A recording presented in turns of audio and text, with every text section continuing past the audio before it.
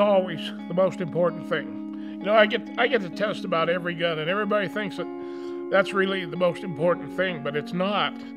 It's all the people in the industry I've met. The same thing here this week. We had seven people here, plus the people that are already here, and never anybody grading on each other. We just all work together and are happy when something happens for us, and we're happy when something happens for the rest of the folks. It's just been marvelous. I've always said there are four things that are important in this life faith, family, friends, firearms, which all goes together to give us freedom. And we've had all of that in one spot with one group this week.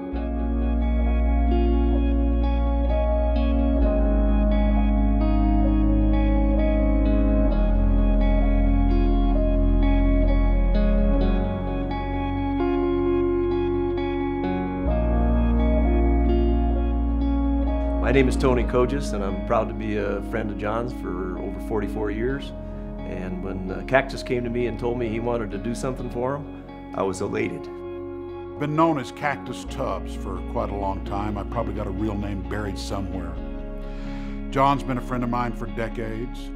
We really came up with this idea about a year ago to do something very special for him, do something that he knew he would enjoy, we knew he would enjoy and just kind of put it over the top. So that was how that idea began.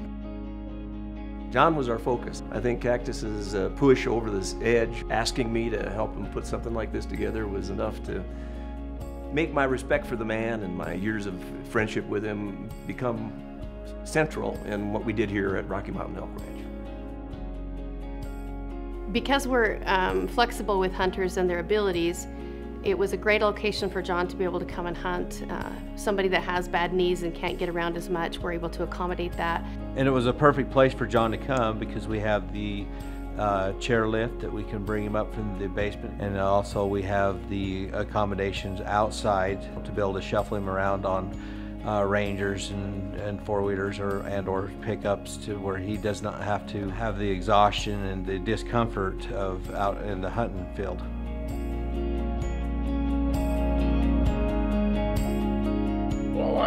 Grew up in the golden age of TV westerns. So, you know, right away the single action was there every night. So that caught my imagination real quickly. And started shooting handguns. And I started hunting with a rifle, and it didn't take too long to realize 10 pounds was an awful lot to carry when you could carry a handgun. Very limiting, but you know, there's there's other things besides shooting as far away as you can and just being able to be out there and see those critters. And the first time that I saw a mule deer, way across the canyon, huge mule deer, biggest I've ever seen, and I'm sitting there with a shoulder holster on and a 44 mag, and I wasn't upset. So I knew I was now a handgun hunter, and I would work the way handguns do and take things the way they come.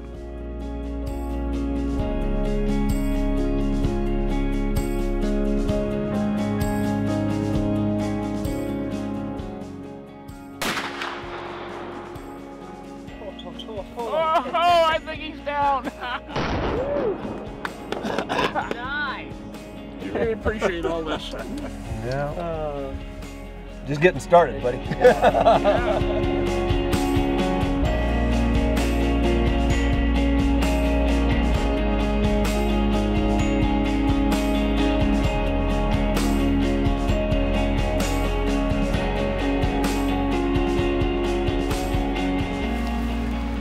Dream come true. they want your picture up here.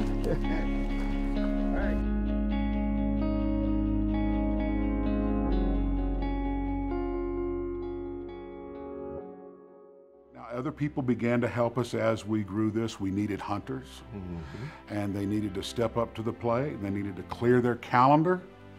They needed to open their pocketbook a little.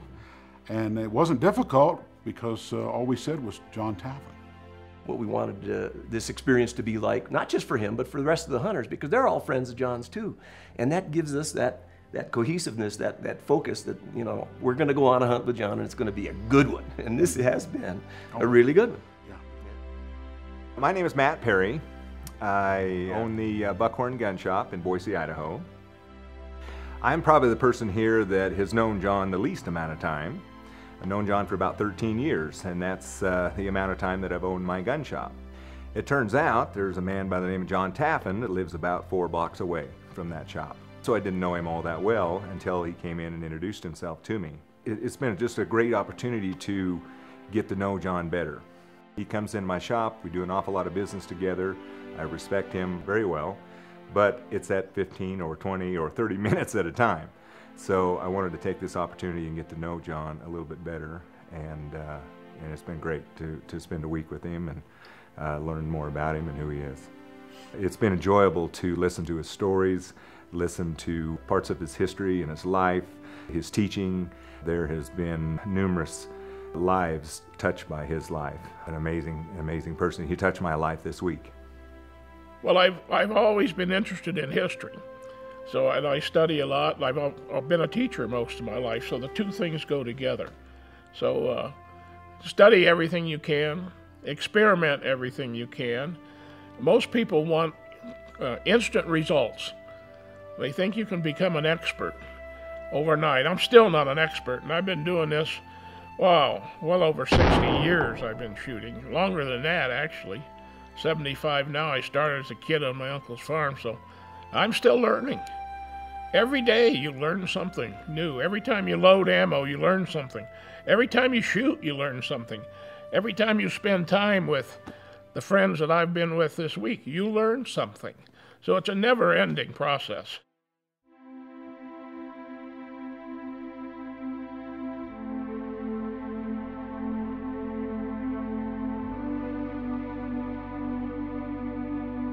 My name is Jerry Danuser. I live in Fulton, Missouri.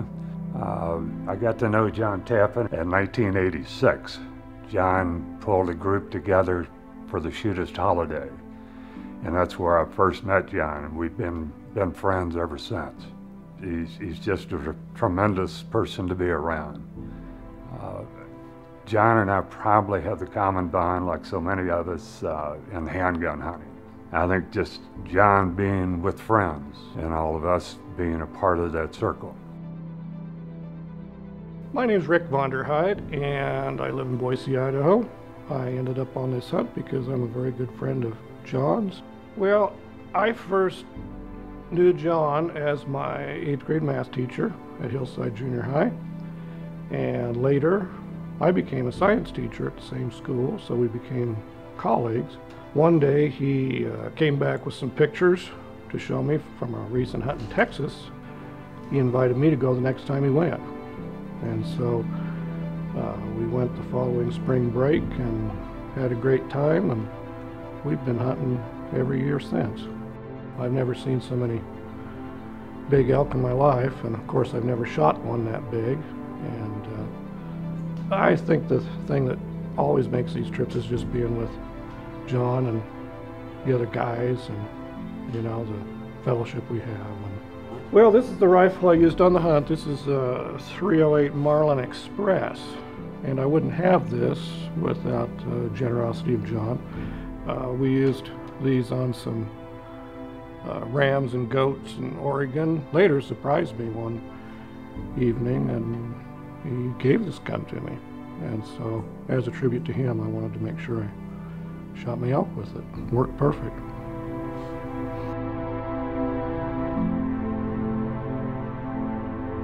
You know, I told Cactus I think this is the last hurrah. He said, What are you talking about? I heard you talking about going to the Duck Valley Indian Reservation. It's given me ideas to write. I'm a writer, and then we're going to have an article on Lucille, Matt's gun. We're going to have an article on Lucretia, Tony's gun. Those and those guns, his is Matt's is 125 years old. Tony's is about 10 years older than that, and they both took their critters this week with those old, old, beautiful guns, those classic guns. So I've I'm inspired from that also. You know, today we're living in a time when we have the best cars, best guns ever made, but they don't have a soul. They're not classic. They can't go in a museum. Those old guns are works of art, and it's just a joy to be around them and people that love them.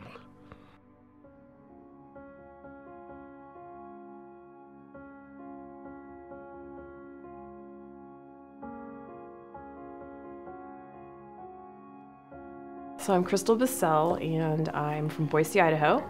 I um, got to come on the hunt because um, my dad used to hunt with Rick and Cactus and John several years in a row um, in Oregon. And uh, about a year and a half ago, my dad passed away. And for a couple years before that, the group didn't get to go hunting. And so Cactus and um, Rick were really kind enough to invite me to kind of represent my dad, and we had talked about, my dad and I had talked about going together multiple times with the group, and I just never got around to it. So I was just really blessed and honored to get asked to go. I have known John since I was a young girl, and I don't know the exact date, but we first started going to church together, I think when I was, you know, 11 or 12 years old. And he and his wife were the first people that I met there. And they were very hospitable and just welcomed us into their home immediately. We eventually got to know more about his shooting. We knew about him, we just didn't know him that well. I started cowboy action shooting with um, Cactus and his wife and John because John invited me with his wife, who is Diamond Dot. And um, John, of course, is six gunner, and, and we only know each other by our aliases. So we, we did we did a ton of cowboy action shooting together. My dad died a year and a half ago, and um, I got married uh, about six months later. And so I asked John to give me away at my wedding. And um, so he's my second dad. He's always kind of been my second dad before that happened. It was just the, the right thing to do. And it was, it was wonderful. So this week's been kind of like spending the week with my dad. And hearing all the stories about my real dad has been really fun. And it's been really healing. And the whole process has just been really neat. I'm really excited because I shot my, my second animal ever with a handgun, uh, just like John did, and I, I, he, was, he shared his gun with me. It was an exceptional experience. It was a great shot. Um, I can't wait to uh, be at the banquet and honor him because it's just been that's what this is all about. This is all about honoring our good friend. And I'm just really excited about that. And his wife, she's exceptional too.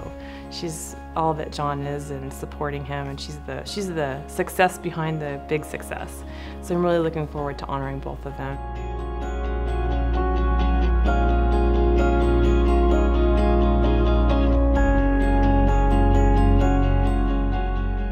I keep worrying that somebody's going to wake me up and this is all a, a great dream, but uh, I knew something was going on with my friend Cactus almost a year ago. We had been hunting for several years on a ranch, and uh, the whole thing just changed, so there was not place to go anymore. So a couple of years we didn't go, and he kept telling me, we have to go hunting again. I said, no, I'm tired, I'm old. Our good friend Roger is gone. It's, it's over. He wouldn't accept that. So he started working and got Tony to help him. And the two of those guys have been amazing what they've done. And he took me out probably last spring. Two great things I learned about the same time. One was my grandson told me that I was about to become a great grandfather in it later in the year. And then Cactus took me out to his favorite place to eat, Subway. And we sat there in the parking lot, and he told me about all this. And I bet it was three or four nights before I got any sleep, just thinking about it. And then and it all finally came together. And I mean, this has been impossible dream to be here. I told a couple of guys if we had written a script for this week, we couldn't have done it as well as it turned out. Everything is just perfect here and the country here, the, the animals are great, but they're way down the line. You know, just being here with uh, friends, Crystal's my family, uh, making new friends. The two boys we had for guides, unbelievable. And the two guys in the camera crew, you know, it's very interesting to do something with a camera crew because you have to work with them and around them. Been a marvelous week. And I told a couple of people it's very ego deflating to have so many people helping you, but it's also very ego inflating the fact that so many want to do it. Been marvelous.